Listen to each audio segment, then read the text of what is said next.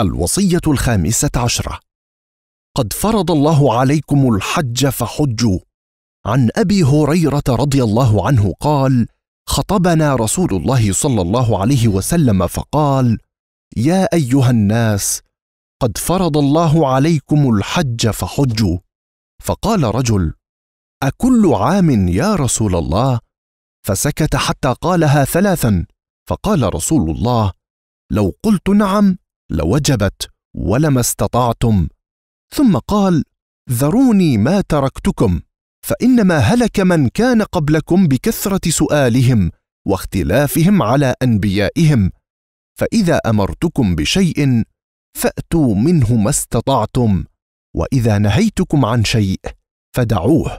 هذا الحديث درس من الدروس القيمة التي نتعلم منها الأدب مع الله تعالى. ومع رسوله صلى الله عليه وسلم فنقف عندما حده لنا فلا نتجاوزه ونلتزم بما أمرنا به ولا نعدوه ونجيب ما نهانا عنه فلا نقربه فهو حديث يضع المؤمن على جادة الطريق المستقيم وينأى به عن محفرات الأمور وسفاسفها ويحذره من التشدد في الدين والسؤال عما عفى الله عنه ولم يقطع فيه بحل ولا بحرمة أو لم يحدد للناس فيه حدا ينتهون إليه ولا زمانا ولا مكانا لفعله أو تركه.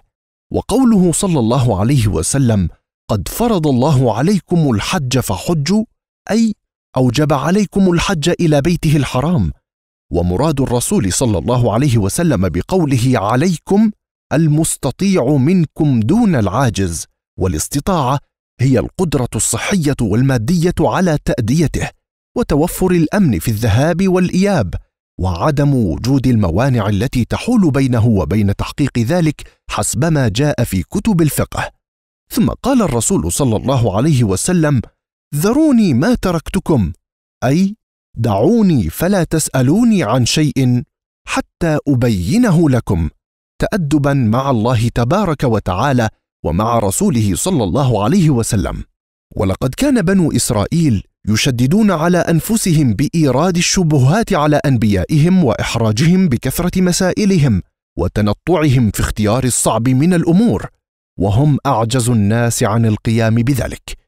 وقد أراد النبي صلى الله عليه وسلم أن يقي أمته مما وقعت فيه من الأمم السابقة. وقد جاءهم بشريعة غراء لا عسر فيها ولا حرج ووقف بهم على محجة بيضاء ليلها كنهارها لا ينحرف عنها إلا هالك.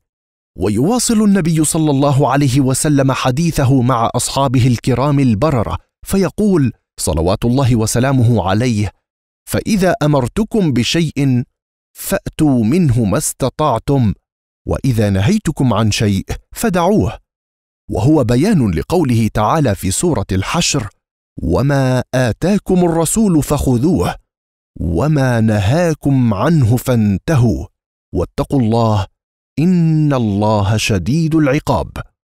أي ما أمركم به الرسول فهو عطاء من ربكم فالزموه. واعملوا به ما استطعتم وما نهاكم عن فعله فكفوا عنه ولا تقربوه إلا مضطرين. الوصية الخامسة عشرة. قد فرض الله عليكم الحج فحجوا عن أبي هريرة رضي الله عنه قال خطبنا رسول الله صلى الله عليه وسلم فقال يا أيها الناس قد فرض الله عليكم الحج فحجوا. فقال رجل أكل عام يا رسول الله؟ فسكت حتى قالها ثلاثا. فقال رسول الله لو قلت نعم لوجبت ولما استطعتم. ثم قال ذروني ما تركتكم. فإنما هلك من كان قبلكم بكثرة سؤالهم واختلافهم على أنبيائهم. فإذا أمرتكم بشيء فأتوا منه ما استطعتم وإذا نهيتكم عن شيء فدعوه. هذا الحديث درس من الدروس القيمة التي نتعلم منها الأدب مع الله تعالى ومع رسوله صلى الله عليه وسلم. فنقف عندما حده لنا فلا نتجاوزه. ونلتزم بما أمرنا به ولا نعدوه ونجيب ما نهانا عنه فلا نقربه.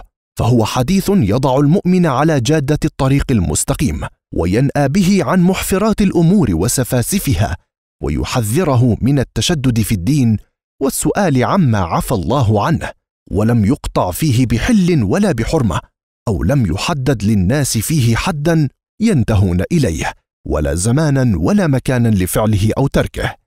وقوله صلى الله عليه وسلم قد فرض الله عليكم الحج فحجوا أي أوجب عليكم الحج إلى بيته الحرام ومراد الرسول صلى الله عليه وسلم بقوله عليكم المستطيع منكم دون العاجز والاستطاعة هي القدرة الصحية والمادية على تأديته وتوفر الأمن في الذهاب والإياب. وعدم وجود الموانع التي تحول بينه وبين تحقيق ذلك حسب ما جاء في كتب الفقه. ثم قال الرسول صلى الله عليه وسلم ذروني ما تركتكم